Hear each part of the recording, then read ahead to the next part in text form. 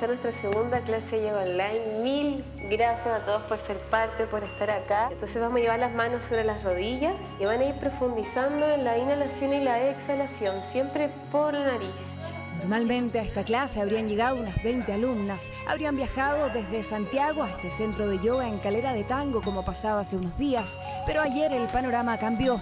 A la clase llegaron más de 4.000 personas, todas en línea. Nunca me lo esperé y estoy infinitamente agradecida. Ante la rápida propagación del coronavirus, las autoridades llamaron a quedarse en casa. Una situación para muchos angustiante, pero Anaís quería que estos días fueran más amables. Por eso, a través de redes sociales, regala yoga. El yoga es físico y mental, es un momento de parar y calmarte, respirar, de sentirte más tranquilo. Quiero entregarle ese espacio a la gente de manera gratuita, de que no haya nada que no te permita eh, realizar yoga y conectarte. Su pequeño grano de arena para distraer positivamente a quienes lo necesiten. Todo el aire por la boca. Acompañarnos entre todos en un momento en la misma respiración, en la misma torsión. Entonces esa es la idea esta cuarentena que sea más amable, que sea más entretenida y lo vamos a hacer entre todos en comunidad. Aprender a conectar pero sin contacto físico. Podrían ser días complejos, pero en redes sociales se abrió un espacio, una oportunidad hasta hace unos días poco valorada, pero que a todas luces, según los expertos, traerá beneficios. Hola Pauli, ¿cómo estás? Bien, ¿y tú?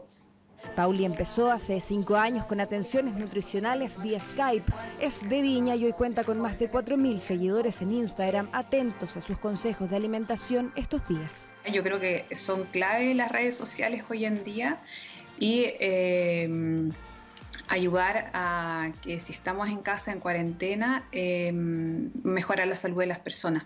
En las próximas semanas, dice la alimentación, será clave. La incertidumbre podría ocasionar episodios de estrés o angustia, aunque lo que comemos podría ayudarnos. ¿Qué tipo de alimentos debieran consumirse en este momento? ¿Qué tipo de alimentos no se deben consumir? No es el momento para adoptar dietas hipocalóricas, ni ponerse a hacer ayunos, ni nada nuevo, porque eso va a generar más estrés, ¿ya? Importante es evaluar qué te está causando ansiedad. Seguramente ya todos sabemos lo que nos está causando ansiedad en este momento y buscar algunas medidas para distraer ese foco y no, no directamente irnos a comer, que eso no nos va a solucionar nada porque va a generar sentimientos de culpa. Meditar, leer un libro, estudiar, pero sobre todo movernos, según los expertos, va a ser fundamental, sobre todo para quienes tenían todo eso en su rutina diaria. La idea es no perderlo. Decisión responsablemente de frenar absolutamente todo.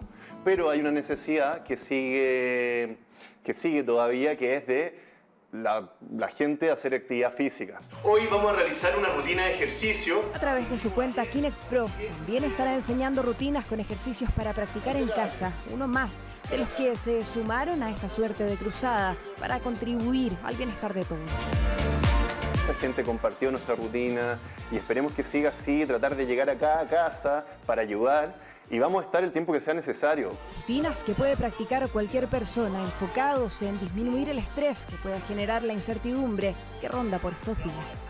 Mucho trabajo de fuerza para no perder eh, y para trabajar la masa muscular y como se dice, de quemar grasa, todo esto para bajar la ansiedad, para liberar eh, serotonina, para liberar endorfina y mantener la cabeza despejada también. No se sabe bien qué pasará en las próximas semanas. Aún así, dicen ellos, podría haber una oportunidad para conocerse mejor, superar pensamientos negativos y distraerse positivamente, conectando de una manera totalmente diferente. Namaste, que tengan una linda noche.